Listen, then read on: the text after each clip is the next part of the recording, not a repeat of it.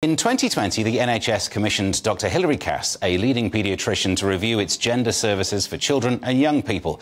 It's now been released, and the ramifications could be huge. I'm pleased to say that I'm joined by Jo Bartosch uh, from Spiked Online to discuss the findings. So let's get stuck into it. What are your take? What's your take from the impact that you think it will have? So I think it's, it's great that the, the research has been done and that this report's been published, but ultimately she, she's basically said what, what any thinking person ought to have known, that it was a really, really bad idea to give mentally confused kids experimental drugs, which is what puberty blockers are. So, um, so whilst I think it's absolutely brilliant that the research has been done, I think it's um, kind of, you know, a little bit late, and um, it's almost something that had gender ideology not embedded itself within the NHS and within practices, it wouldn't have been necessary at all. I suppose, given that effectively what you're saying is people should have realised this anyway. Yes. People clearly weren't realising this, so maybe do you think the presence of the report will have an impact that might actually move the debate and convince minds? Well, I mean, to be honest, I, I interviewed um, uh, Susan Evans uh, four years ago. Now, she blew the whistle in uh, 2004 about what was happening at the Tavistock.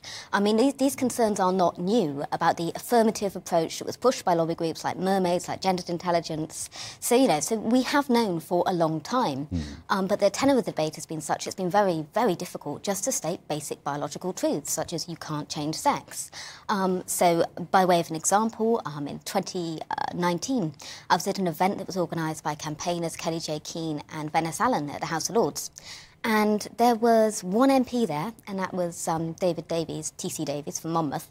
Um, every other MP had been told that it would impact upon their career if they went to the event to discuss the impact of puberty blockers and what was going on at the Tavistock. So, you know, there has been a concerted effort to shut down debate on this, mm. and it's been driven by lobby groups. And I'm afraid to say those lobby groups have still got influence in the NHS.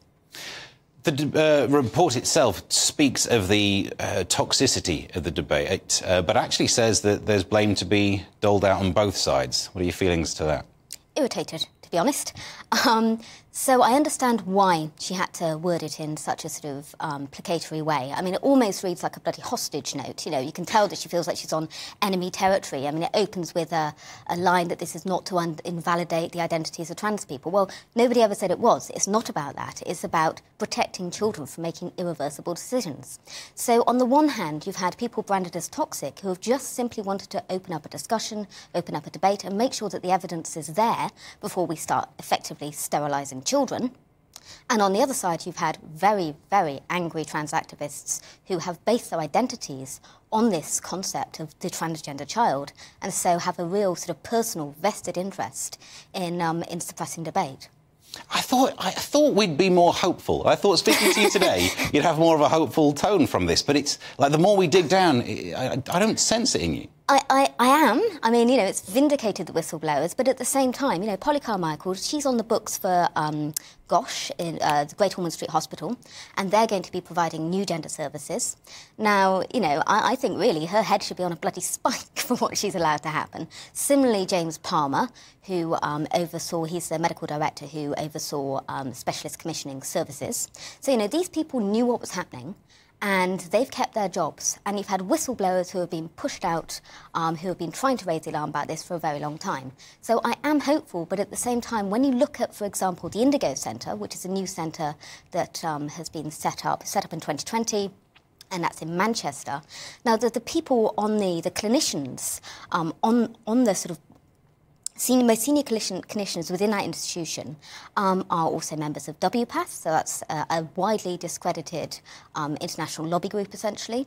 Um, they've worked with, they, they, celebrate the fact they work with mermaids, and they call themselves trans and non-binary led. Now, that's a political stance, that's not a medical stance. So we are, we are still, we know we've got a lot of work to do to root this out of the NHS. So I saw someone discussing the fact that the, the language might not be what you wanted to hear in a sense, no. not the, the, the vindication that you wanted, but what it is, is language that's hard to accuse of being transphobic, which actually would have shut this down, which definitely would have meant that nothing would have come from this. Anyone who didn't like the results would have simply accused it of being some TERF paper or whatever the phrase they would have used online.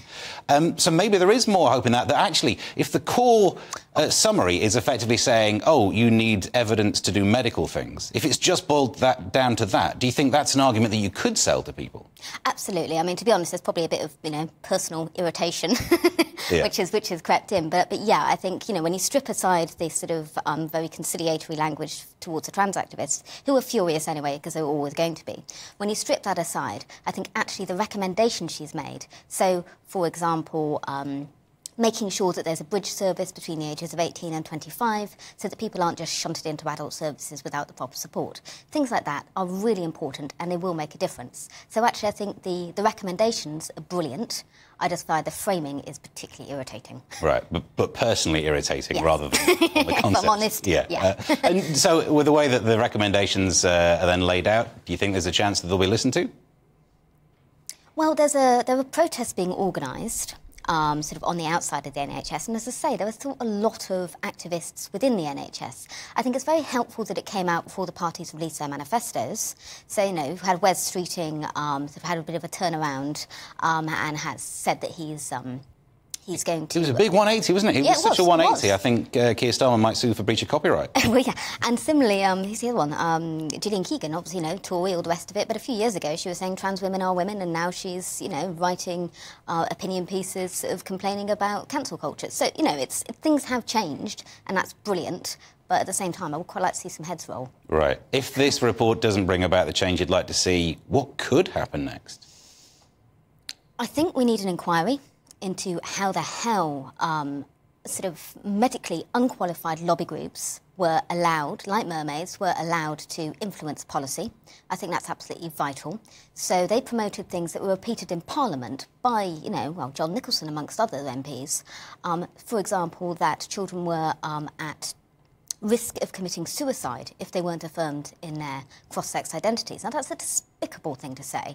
Um, and, that, you know, obviously terrified parents into, into allowing their children to, um, to take dangerous experimental drugs. So I think this is so serious that absolutely we need to have a proper investigation into how the hell this happened and to make sure that it doesn't ever happen again. OK, and then we'll book you in for a few years' time to come and talk about how nothing's happened. Jo, thank you very much. That's Jo Bartosch. Online.